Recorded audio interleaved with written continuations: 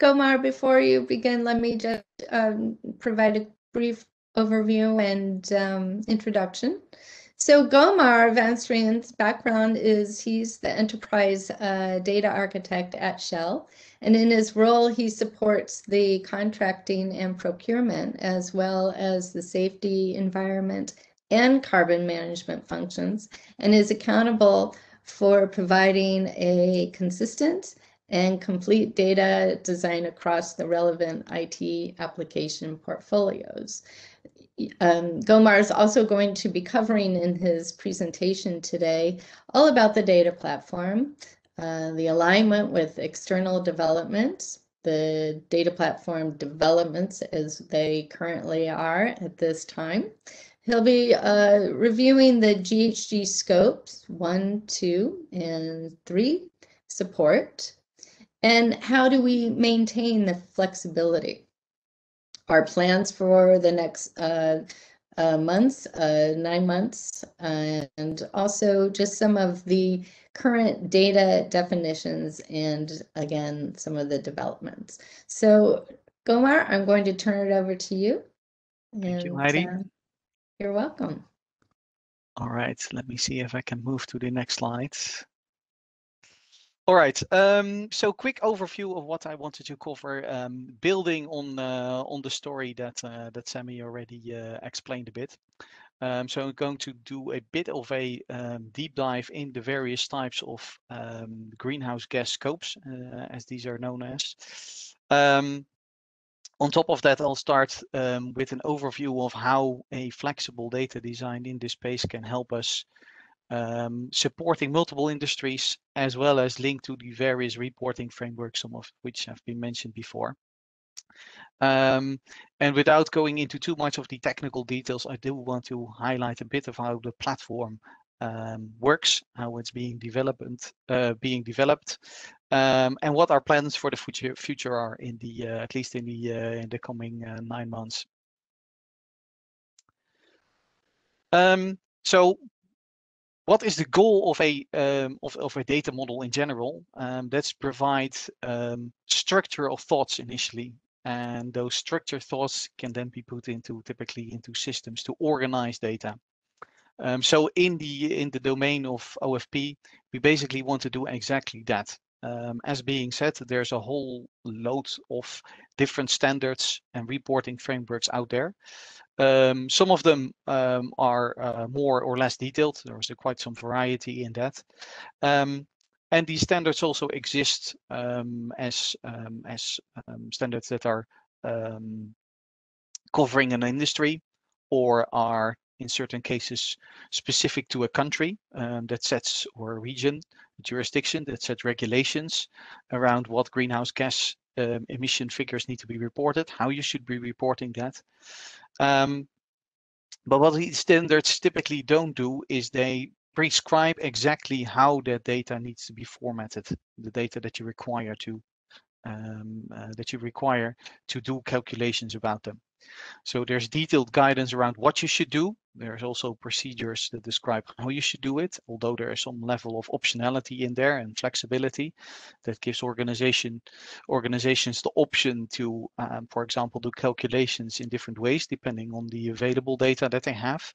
Um, and what we want to uh, what we want to do with Open Footprint is build on that and provide that, that, that next level of detail, basically the structure to organize these reporting frameworks such that you can use them to facilitate um, data entry, um, processing, processing and exchange. Um, so by doing that, um, we can get also to a, I would say, higher level of confidence about certain figures. Uh, typically, figures um, about your uh, about companies companies' own operations are relatively well known. But of course, whenever you're um, looking at the whole value chain of the life cycle of a product, there of course are many unknowns for the individual players in that value chain because there's a quite a few handoffs as products are being bought and sold. Um, last goal of the of the data model, of course, is to make sure that all of that data that we want to store and the, on the platform is accessible through standard um, what's called APIs, application programming interfaces, which allow um, various types of um, software or um, application services to communicate with the platform.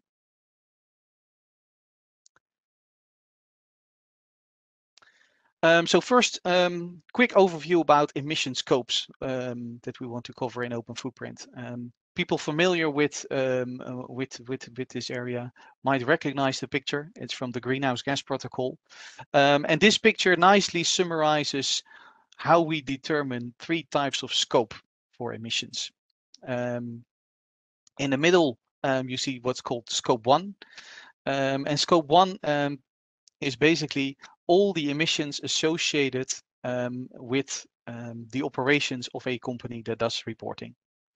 So that could be um, running a factory, it could be um, moving materials or, or people around with, with vehicles, with aircraft. Um, so it basically gives an overview of what your own operations um, basically produce in terms of greenhouse gases. And the greenhouse gases themselves are highlighted at the top. Sometimes one or uh, one or a few more are included, but these are the six uh, main greenhouse gases. And of course, the mo most well known is CO2. All the other greenhouse gases um, um, uh, can be translated in, into CO2 equivalents to um, highlight their impact on uh, on uh, on our environment. Um, as you also can see at the at the bottom, um, before and after the reporting company, you see um, upstream and downstream activities being highlighted. Um, so those are the um, activities that as an as a company that does reporting about their greenhouse gases, um, you typically don't have full visibility. And this is where we want to uh, want to uh, create a contribution by making sure that it becomes more easy over time to make sure that also these and what's called scope 3 emissions um, can be made visible. Um, so as I said, um, scope 1 is your own operations. Um, scope 2, which you see linked to it, um, also typically um, has impact on your own operations, but scope 2 has is basically isolated in a, in a way because it covers all of the energy that you as a company consume for executing your operations. So that's typically the electricity that you buy, um, can be from a grid provider, or potentially, um, if it's applicable, um, any steam or heating or cooling um, that you get from another provider as well, but which you use in your own operations. So those are the scope one and two emissions, um, which we are um, which we are covering in our first um, uh, minimum viable product of the reference implementation of Open Footprint. So we want to capture those first. Um, but then building on top, going back to the scope three emissions, we want to um, improve the visibility on the other emissions. So on what's what's highlighted as upstream activities, um, those can be, um, um, for example, your employees traveling to work. Um, that's something that produces emissions. As such, it's considered also as an emission that in the end attributes back to the products or services that you as a company sell. The same um, applies to any items, goods or services that you buy from other companies, if you of course use them in your operations to produce something new. Um, these products also contribute to the overall footprint of the products that you that you sell as a company. Likewise, um, on the downstream activities, you see a similar list, um, but then um, this focuses more on what happen and happens after you have produced a product or service. Um, so it can be um, the processing of the, the, the, goods and services that you um, that you sell. it can also be the use of those. So in case of in case of a raw material that's being sold, um, of course, the, the impact of processing that raw material into an end product, that's also something that um, over the whole life cycle of a product, of course, has impact on the total number of emissions. Um, so with that, this is the with, with this overview. Um, in the end, we want to make that big distinction between first, what do you have visibility on um, as a company that does reporting, which is typically your scope and scope, scope one and scope two, and potentially to some extent also your scope three emissions which are called upstream. So what, what do I take as an input? Um, but with the platform, we then want to further extend this um, in, extend this view against um, a whole um, value chain, um, which we're aiming to do with the uh, World Business Council for Sustainable Development, um, to make sure that we can exchange product emissions along that supply chain. Um, so how does this data design look like in a nutshell when we consider the picture that we just saw? so at the top, top left, you see an overview so of um, well, what's a very much trimmed down version of a data model. Uh, that's all this what you see on the left. And on the right hand side, you see some example dummy content um, that links back to the objects that are highlighted on the left. So I'll go through this um, st structure uh, to explain a bit how we um, how we organize um, data that's related to emissions. So looking at uh, various standards that are out there, uh, thinking of the Greenhouse Gas Protocol or, uh, or the ISO standards in this space, um, first thing you typically do as a company if you want to have visibility on your uh, on your emissions um, is to set um, what's called boundaries. Um, and what's what what boundaries um, basically describe in this context is really saying what is actually um, considered my operation and what's someone else's operation. Thinking of the picture we just saw of the greenhouse gas protocol and the scope one, um, it's important to distinguish what are operations that you as a company um, um, are operating and which are operations from someone else. Both in the end um, are relevant, um, but in terms of how you get to the data and prevent any double counting, both need to be clearly identified to make the split what's what's what's in and out of scope of your calculations and allocations of emissions. So what you see in the picture in the left, you'll see so two um, organizational structures. Um, and with the dashed lines, you see a split being made. So in this picture, um, you see that there is one sub-organization which is actually not part of the of the other organizations on the left, is taken into a scope. These things can happen um, because what you typically do um, is you look at an organization, how it's broken down into subsidiaries or business units, and you say all of these um, business units, their operations, we consider all in scope. Um, but it might be if you have, um, for example, a big financial stake um, in a company, but you're not doing the actual operations, you still might want to um, include it in your operations or in your operations figures if you have the information for it.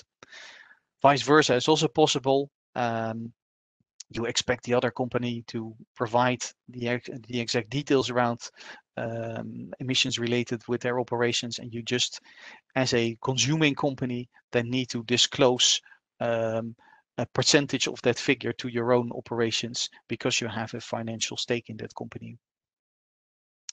So the first step is setting those boundaries, and the boundaries typically start, uh, like I said, on the level of um, organizations, um, but in the um, into the next level is basically the business activities that you execute as an organization. Um, and these can be very high level um, activities like uh, this is my commercial branch as a company and this is my production branch. Um, but you can break these down into very detailed level of activities. And these lowest level tip activities um, are sometimes also called greenhouse gas sources and sinks. So those are the activities um, that produce or um, take um, greenhouse gases out of the air, um, where of course producing them is uh, much more common. Um, such a low level activity can be something like like what you see over here. You have an activity of transporting Sub-activity is road transport, um, and that would, um, in terms of classification, um, if you have road transport, um, biggest source of emissions is the um, is the combustion of fuel. Um, that's typically categorized as something called mobile combustion. So your lowest level activity would be then basically saying driving a car or driving a truck in the example here on the uh, on the right. Um, now, what you can do for these activities in order to get figures for those, um, basically get information about how you calculate those, you link them to your company assets, to the facilities that are executing or involved in executing those activities. So in this, ex in this example, I have listed here an activity of transport, which breaks down into road transport, potentially air or sea transport as well. You and the facilities in this picture would be um, would be your trucks. Other activity could be cooling your buildings, um, and what you would do over there, you don't have an um, have a direct um, facility involved in that. Maybe you want to say I have my air conditioning system um, that you of link. But if you say, well, we just pay the electricity bill um, and we don't distinguish between our air conditioning and our heating system, you might say, well, we just link to the activity, we link the um, consumption. And that's what you see um, over here, what's called activity parameters. Those are all the measures or metrics that you want to capture about the activities that you're executing in order to calculate um, emissions. Um, and again, an example is given on the right. Um, so in this example, there, um, and we are staying with the example of trucks moving goods, for example, um, there would be three um, parameters, activity parameters that are being highlighted over here. So the first one is fuel consumption. So uh, for a truck, you want to know how much fuel is consumed. You typically break that down by the periods over which this is done. Um, you look at what is the carbon intensity of the fuel. Um, very, very much, of course, nowadays, if you have an electricity, uh, an electric vehicle, um, the carbon intensity of the fuel might be zero, unless you say, well, actually the electricity is produced um, by burning coal, then the um, the electricity doesn't have a carbon intensity of zero, but a higher one. So this carbon intensity in this case of uh, fuel consumption is, uh, is, is another um, parameter associated with your activity, but this is typically a static one. Um, so you have a default figure, for example, for gasoline or for diesel that's that's being used, and that allows you to do calculations. Then another related figure, which is often um, useful to do a calculation, is the actual distance that you have covered with your truck. Um, so those are your activity parameters. And of course, I'm simplifying the world here. In, uh, in, in realistic cases, when you're monitoring a, uh, a plant, the calculations would be much more complicated and you would stack much more of them. But the principle stays the same. You calculate, or first you list down what are the parameters that describe the operations of my uh, facilities. So what and which, which ones are used for executing certain activities. Um, and then you're combining these into calculations. Um, and for um, for a lot of standard activity, standard processes, there's a given formula that you need to execute, and that and what formula you need to execute, as well as maybe the the static data like the factors that you use, like carbon intensities, might be dictated by the reporting framework that you use or that you have to use. So that might be something that's different in one country um, um, as opposed to another, because local regulations might say, well, you need to use this carbon intensity figure. Um, so you combine your um, activity parameters into formulas, basically into calculation methods, which then um, can be used to collect emissions at the lowest level. So I have two simple examples. One, uh, which allows you to do um, a calculation on the carbon emissions, just make sure that you multiply your carbon intensity with your fuel consumption, which gives the actual emissions of your um, activity um, of truck driving. Um, what's typically important as well, next to the absolute emissions that are being recorded, is of course to record the carbon intensity, as it's sometimes called.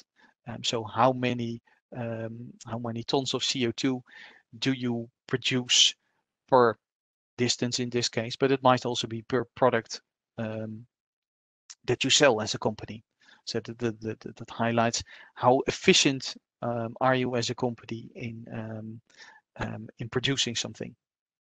So in this case, you need slightly different figures, or you need actually the travel distance in addition to your carbon intensity and your uh, uh, fuel consumption. So you can get the figure by combining the travel distance in this mixture. So again, this is just two very simple examples of um, of doing a calculation, um, but it, it summarizes the way that we bring these things together. Now, the last step that you typically have to do as a company is combine these figures that you have of your operation operations into greenhouse gas statements. So these hold the actual quantities of um, um, produced emissions, um, as well as maybe um, the intensity of your operations, the carbon intensity of your operations into statements.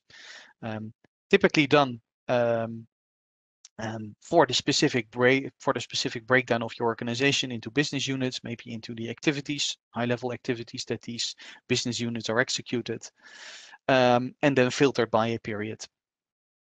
So that way, in a nutshell, you have summarized how you um, can get to your emissions. Of course, there are very many nuances around this. So for example, just, just highlighting one, if you don't have the direct figures, for example, around your fuel consumption, um, in this case around truck driving, um, what you can do as an approximation is saying, well, for my whole fleet, I paid X amount um, for um, an amount of an amount of diesel or gasoline or something like that. And on the basis of what i what i've paid so basically on my uh, basis of my invoices my fuel invoices um, i I'll, I'll, do a calculation of the uh, of the emissions of my uh, my trucks um, and you might even have to, um, if you don't um, have a clear picture, um, figure about um, the details of the fleet. So maybe you use partly third-party vehicles and you don't know whether it's a diesel truck or an electric truck or a combination. In that case, you have to, of course, assume a different carbon intensity of the figure. All of those things would need to be fit into your calculation. So you can say, well, the quality of my data or the uncertainty about my data is bigger because they don't have the direct figures, for example. That's all things that we um, that we want to embed into our data design, so into our model that describe the calculation. So not just the raw numbers, but also these kind of figures. And potentially you want to refer back to the standard that you used that, for example, dictates what figure for carbon intensity do you use. Um, and if you need to provide evidence to an auditor about what were your truck emissions as a company, you want to be able to be articulate which carbon intensity figure did you pick and why did you pick that. So that might be metadata that you want to tag, tag to the actual calculation that you've executed.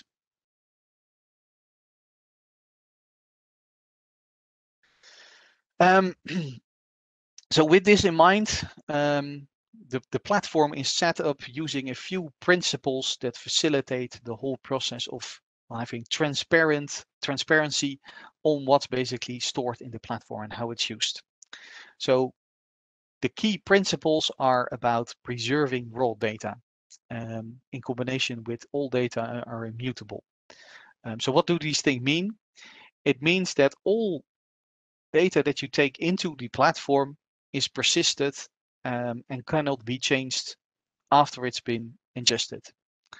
Um, that doesn't mean that you can't do updates to data. Um, that's very well, possible.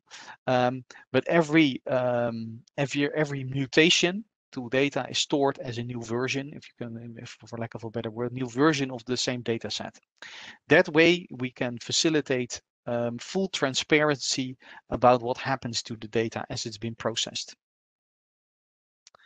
Um, associated with that, we want to make sure that data ingestion efforts are minimized. That means that um, data is loaded onto the platform in um, uh, as fast as possible, um, and processing is done afterwards. Processing could mean tagging with the right information about who can edit it, where does it need to be stored, um, when was it modified, etc. So the benefits of doing that, um, and the last principle I forget, is to bundle data that's related to each other in what's called products. Um, so we bundle um, related sets of data together. So think of the organizational boundaries with the activities um, that the company executes. By these are bundled into a um, into a work product, um, and that's and uh, and that's used. Um, those work products are used to provide um, small packages of information that can easily be consumed by a user or by an application service that's that's um, um, steered by a user. So the key benefits of uh, of those principles is to make sure that um, emissions, but also the factors and all the input uh, input models that we used to calculate emissions or to store emissions can be audited in a transparent way. Um, immutable data along with um, along with the right metadata tagging makes it possible to easily search through all of the data that we have on the platform. So it's organized in such a way that you can easily find back data that you persisted before. Um, and of course, the last one, which is very important, especially if you exchange information between organizations about scope three mainly, that we do that in standard formats. That can be easily understood, which facilitates automation and therefore um, minimize the cost of doing and doing so. Um, so I alluded already to, to the implication of this. Um, so in case of a change to a data object, a new version is created. Um, tagging processing done after loading of data. Um, and the last that I didn't highlight too much so far is that the idea of the data platform of OFP is that multiple applications or software services can interact with the same data set. This is different from what you sometimes see um, with with with um, with applications or services today. Um, is that because this is a single platform, the idea is that um, applications that interact with it don't need to um, exchange data directly with each other is they both communicate with the same data on the platform. So they both have a connection to the platform, um, which makes sure that you can execute basically um, something like a workflow on top. So you have one application, for example, for setting up your organizational boundaries if you want to, and maybe the next step of defining the actual calculations for um, for calculating emissions might be done by someone else by a different application service, but it's done on the same data set. So there is a um, um, with the central platform, you prevent direct connections direct connections between applications are not strictly needed because both applications, if they are, um, if they can communicate with the interaction um, service of the platform, they communicate with exactly the same data set. And only modifications done are stored, and again, as new record in the, in the platform.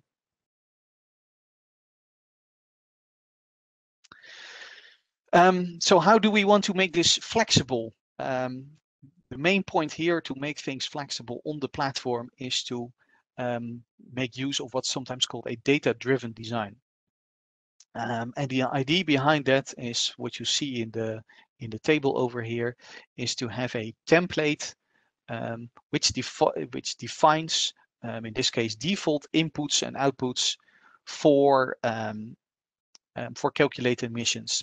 And the way that's done is in uh, in the example I filtered by an industry sector. Um, the activity, as well as the um, emission source. Um, and the idea is that all of our, um, I would say, reference data is organized in such a way um, that it, in case you get, for example, a new um, a new requirement from a different from a reporting framework or maybe from an industry specific um, framework, you can bring that into the system with actually without changing its structure. Um, so as you can see, we've simplified. We put, want to put things into a table. Um, it's not really in, in, reality in the platform. It's not really a table, but a data object. Um, but it highlights in this case, and I'll go through the example. Um, on the left, it highlights to which industry sector is, um, in this case, this is about calculation, to which industry sector is this calculation applicable. You can make a selection there maybe multiple combinations are valid. Um, you highlight for which scope the emission calculation is. Um, you connect it to the activity for which it uh, to which it applies. Um, and then following um, categorization that's typically used by uh, by the greenhouse gas protocol as well by ISO standards, you have a categorization that tells a bit more detail around what kind of emission is this. That way you can collect all the associated calculations, um, in this case, and the same might work for all the associated input parameters because they are collected over here as well, that you require for executing a certain activity, depending on the industry or the, um, the domain in which you're operating as a company. So sticking with the example here at the top, you see um, four again, simplified view of the world. For calculating scope emissions, if you're talking about road transport, which categorized as mobile combustion, if you talk about the, uh, the, the, fuel burned, um, two input parameters are required. You need to have an emission factor per mass or volume of fuel, and you need to have that volume of fuel um, that you combust. Calculation in this case is aggregate all the volumes of fuel consumption that you have, multiply by the emission factor. That gives you your emission for scope one, mobile combustion for road transport. In this case, I refer to a standard for factors. Um, this, case, this is one from the uh, International Energy uh, Agency that provides emission factors for fuel uh, combustion. And again, multiple standards or multiple um, reference databases provide these figures um, and, and those figures can vary. So important again to include the standard that you use for your calculation in the actual audit trail that you do for, do, for executing your calculations. Um, next example, this is about upstream scope 3 emissions. So basically this is um, this is about purchased goods. So in this case, if, if for your activity of packaging your, your goods, you buy basically cardboard or paper to do the packaging. Um, so you're buying a material, um, and that material, um, the amount of cardboard has of course an intrinsic CO2 emission value associated with that. Um, so you have to take that into account. So um, as part of your packaging operations, if you're a logistics companies, you consume basically carton and paper. Um, so also for that activity, you need to tag CO2 emissions um, to that packaging activity, not just by doing the activity itself. And if it's done by hand by, by people, the packaging, there's no emissions from your operations from doing it. But of course, the, the, the carton or paper that you used um, does have these emissions. So, and there again, there's a there's a standard that holds these factors, um, so to give guidance um, about um, which figure or which factor you should use for doing um, this calculation. Um, the last three lines are about, um, in this case, an example of uh, the cement industry. Uh, there's a, there's a, let's say, a, um, a dedicated standard the Cement Sustainability Initiative that provides uh, guidance around doing calculations for the cement industry. Um, and I just picked up three examples um, for scope one and two. Scope two um, is, is um, as I mentioned at the start of the session, um, about purchased energy, in this case, purchased electricity. so what you need to know is your power consumption and the power consumption emission factor. Um, in a case where you just take energy off the grid, um, um, you can use um, grid factors, which are refreshed yearly, that tell um, from the uh, International Energy Agency that tell you um, how much um, or which percentage of the energy in the end is green. So basically how much carbon um, is associated with producing electricity. Um, of course, this figure changes if you have, as a cement company, you might have, um, for example, your own power plants as well, or in an advanced case, you might have solar panels. Of course, your power consumption first needs to be um, adjusted for that, such that you only talk about the power consumption of the electricity grid, of course, before you do that calculation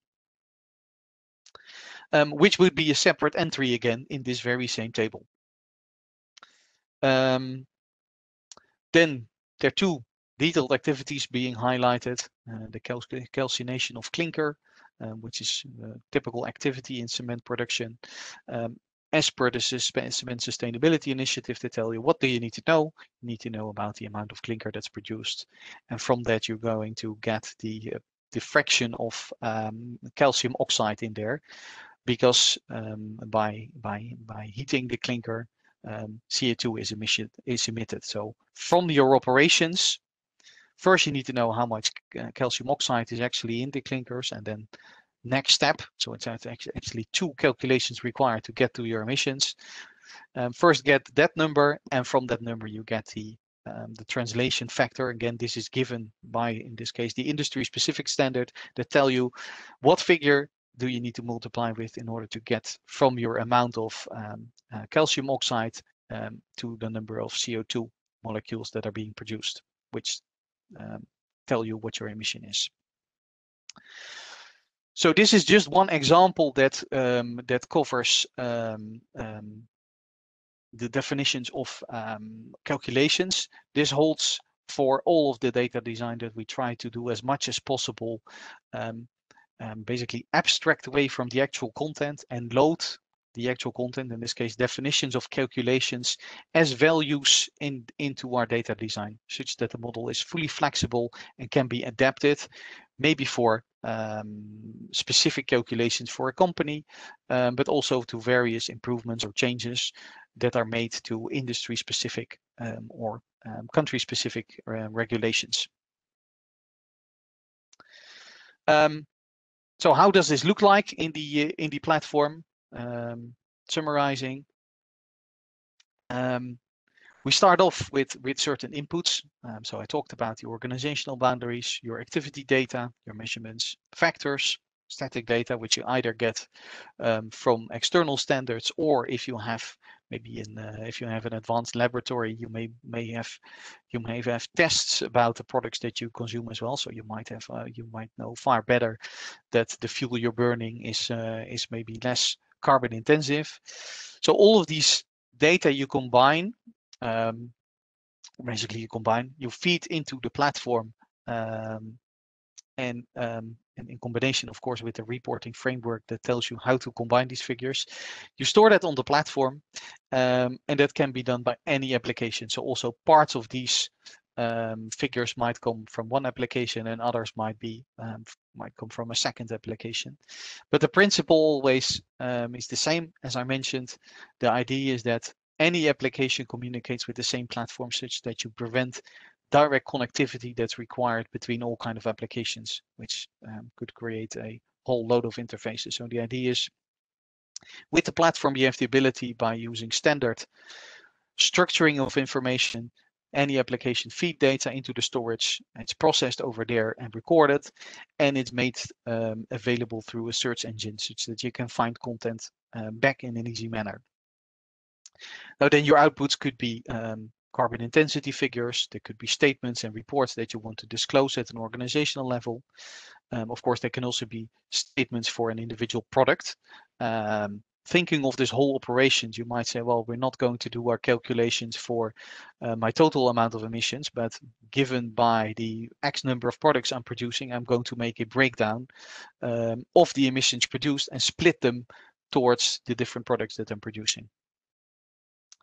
And of course, if you have um, one step in a, you're, you're covering one step in a value chain, you want to exchange at least these product level emissions uh, or service level emissions between organizations. So this is an optional step if they, if uh, if your counterparty um, organization also uses Open Footprint, they basically would have the same methods of storing storing the information. So um, um, again, this principle could also work um, with third-party applications of course, only if as a company you want to do that. You can, of course, um, restrict data access completely. Um, so there's no default option that the, the whole world can look at your data, but it's a possibility.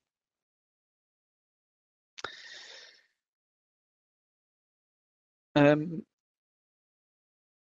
so how does this look like in the picture of the um, of the um, what's called an, uh, an uh, architecture picture? An IT architecture picture. This um, you saw a very small example of this already in uh, Sami's presentation. Um, this picture covers in a nutshell what the platform is about. So the platform covers the blue parts. Um, and the main area that I've talked about um, so far is this blue box, the data platform um, and an ingestion framework.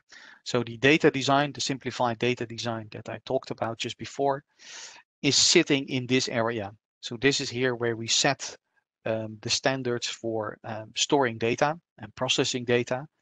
Um, and all of that communication to that to that data is handled through um, what's called APIs, these application programming interfaces. These facilitate the exchange of information from and to the platform. Um, now, in our case of the reference implementation, um, and the colors are a bit mis uh, a bit off here now. Um, what's in gray basically is basically not part of the platform. That could be any application that sits on top. Um, but um, what we have with the reference implementation, and uh, Surab will uh, probably tell more about that. Um, what you see in green is we have with the reference implementation of Open Footprint, we have a default user interface, basically. So screens on your computer that you can use to interact with the platform itself. Um, so you can create alternatives for that. You can also say, well, I have my own application which communicate with the platform, but at least there is this default um, um, um front end that communicates with the platform. And also part of the uh, part of the platform will be an uh, uh, at least a default calculation engine, which allows you to do emission calculations um, yourself. Um, again, these can be done using um, using the template inputs that uh, that I just shared before, which highlight which calculations you can do. Um, and then in your organization setup, you can then define the applicable ones and link them to your actual data. Um, so how do um, how do deployments of the platform look like. Um, so um, just to stress once more, the idea is not to have a single platform for everyone in the world. The idea of open footprint platform is that every organization, every company can have multiple deployments on their own, one or more deployments. So if you're a small company, you might only want to have one. Um, if you're a big company, you might have multiple deployments. Um, but these deployments are per organization by default. So just to stress that there are no, there's no idea that this is one big platform that everyone connects to. Um, everyone can have their own setup of the platform and set up the integrations with their own existing software might be there. That might be your ERP in which you have maybe sales figures or production figures about the materials and services that you buy and sell. Um, it might be operational data if you have plants. It might be third-party data around your travel. Um, but that would be all within a single company. Um, and these deployments can be deployed on um, on your own physical hardware if you want to buy a server, and they can be deployed on um, on uh, on cloud infrastructure. Um, and uh, as was mentioned at the start, for example, uh, um, AWS and IBM and, and uh, uh, Microsoft and others can have their own implementation of the platform. So as a company, you could say, well, we have a implementation and we want to deploy it on our own cloud infrastructure. So you can also scale up and down as you want to. Um, so between different deployments within a company, you can replicate metadata um, such that the same configuration applies to multiple deployments while users can be across the world um, um, and, and communicate with each instance individually. And then what's optional it's possible if you want to thinking about scope 3 emissions if you want to know how many um, or what emissions are associated with the services that we buy from another company that might be something that you agree with that other company. We want to exchange information about that. In that uh, in that sense you can connect to open footprint deployments across companies to each other as well by exchanging that information so um, quick overview of the uh, roadmap and plans um, for, for the next months. Um, of course, our first priority is to, um, and you will see a demo um, in the coming days of that, is to have our reference implementation launched. Um, like I said, that covers not only the platform itself, a full setup of the platform, but also a user front end, so screens that allow you to interact with the data platform directly. Um, and we um, um, and we allow you to to enter emission data and take out emission data plus related data. So the uh, things like carbon intensity or input figures can be stored already um, onto the platform. Um, and then building on that, we want to um, um, extend that with calculation support for scope one, two, and three emissions.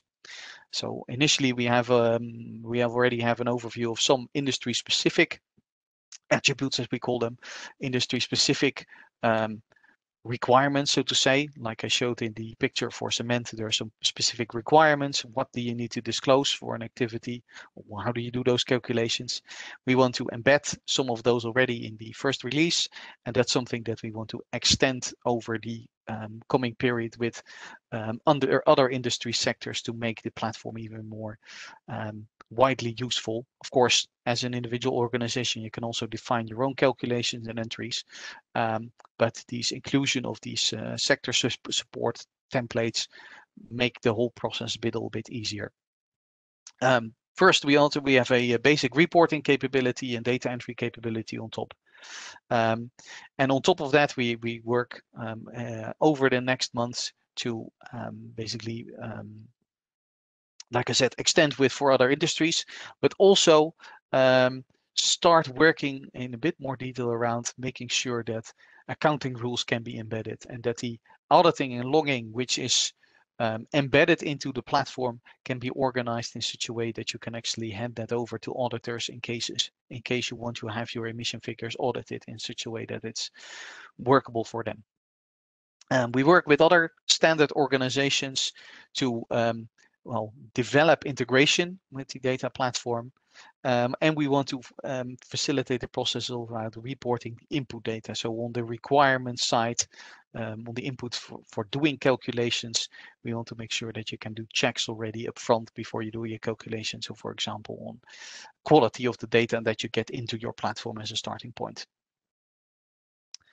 Um, and then longer term, um, we want to consider um, the inclusion of non-GHG materials uh, because the principle of calculating the footprint of a um, of a product um, does not only cover, of course, um, greenhouse gases. If you think of environmental impact, other impact um, um, might be important to disclose as well.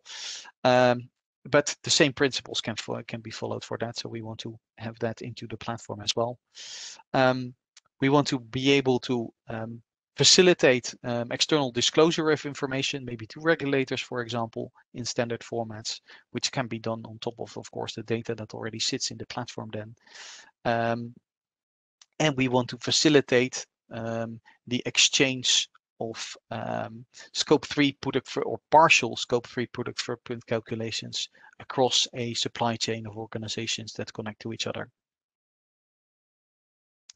Um, Related to that, there might be uh, uh, there might be requirements also for more complex allocations of scope three emissions. Again, in the story before I talked about, um, you might not always have primary data, so data that you have from your own operations, and so you have to fall back to um, what's sometimes called secondary data, so data from um, um, from standard database that tell these are the default emission factors of product X and so on.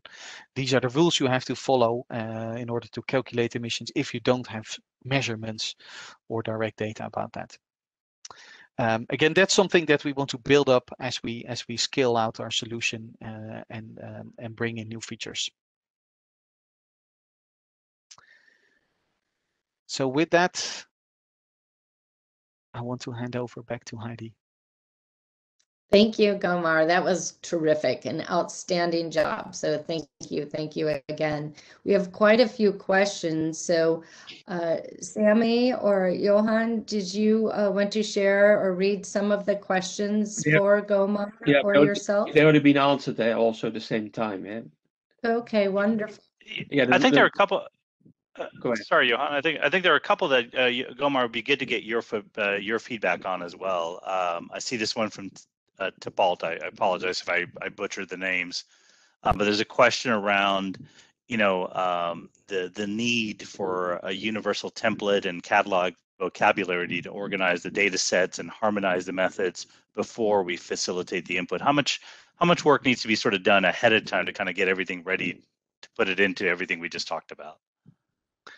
Um, it's it's nice to have to have it upfront, um, but um, I think it's also important to keep in mind that a lot of companies already have calculations defined for for for for their emissions.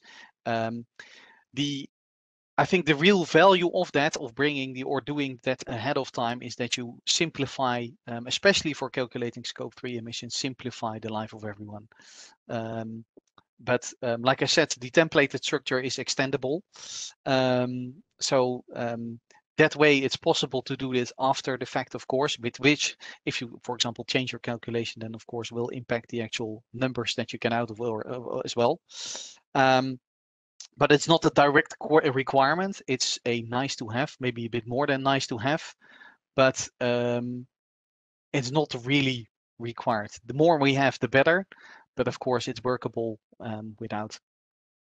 All right. Good. Any, any other questions? Yeah, I think there's uh, one other one around from uh, from Sonia here around the um, uh, the question she specifically asks is, is it relevant where the users are located to choose where the infrastructure is deployed? Um, you know, considering issues around latency and, you know, users being in different locations. What's what's the viewpoint around that, Omar? It's not, that's not, that's not important uh, because the protocols we are using are not latency sensitive. So you could have your open footprint implementation in one country and you could have your users in, uh, in, in various sites around the world even because uh, your applications will be browser based and your data loading is also not data sensitive. So I don't see that as a, that's a real, as a real problem uh, uh, for the, for the implementation. Excellent. And I think there was one. Oh, yeah, go ahead, Johan, please. Yeah, there's one other one maybe. Um, maybe you see the same one. There was a question about is there a marine version available of uh, is the one same one had Sammy? Okay. Yeah, yeah, uh, go for it. Okay. Yes. Um, we have, and we're going to hear you're going to hear about later today from Ravind, I think is late today. We we are we are looking at various industries and looking at what do we need to add to the scope one and scope two definitions to support an industry. And marine, I think, is the one one of them we've done, and you'll hear about later today. But in principle, the way we support industries is making sure, looking at those industries and see what are the mandatory important fields we need to add to scope one and scope two, and make sure as part of the template you just heard about from uh, Gommaar, we can support these industries as well. We make sure that for certain industries, certain fields are mandatory being asked for. You want anything add anything to that? Uh, no, that's right. And maybe one thing, just I made the example of the, uh, of course, the calculations for industry specific. Um, we're also looking into um, making, I would say, different templates for industry. So thinking of marine, um, in the case of marine, you need to, uh, at least for bigger ships, you need to register, for example, the the identification code of the skip uh, of the ship. I don't recall the exact name of the field, but that kind of information we put in a separate template, basically, for example, to label your assets, in this case, ships. So it's not just restricted to uh, um, to calculation inputs and outputs that uh, those industry specific data. Okay, Sammy, do you want to answer the last question? Is there a carbon footprint for the reference architecture? I, am going to say yes because uh, I think there's a carbon footprint for everything. There's there's actually a number of articles around the carbon footprint of uh, artificial intelligence that I've seen, yeah. but uh, I, I think uh, I, I, would say yes. Have we quantified it? Is probably a better question. The answer is exactly. no, but exactly. uh, I think it's a good, worthy uh, test data exercise for us. So, yeah. Thank you. Yeah, I think this was the last question, uh, Heidi. Okay, very good. Well, everyone, uh, thank you. We we have a 15 uh, minute break, and so we will be reconvening again at 8:45 uh, Central Daylight Time, and that will be uh, 3:45 uh, Central European Time. And just as a reminder, um, please enter your questions in the Q&A. We do see some of them have been uh, added to the chat, so we'll try to address those as well.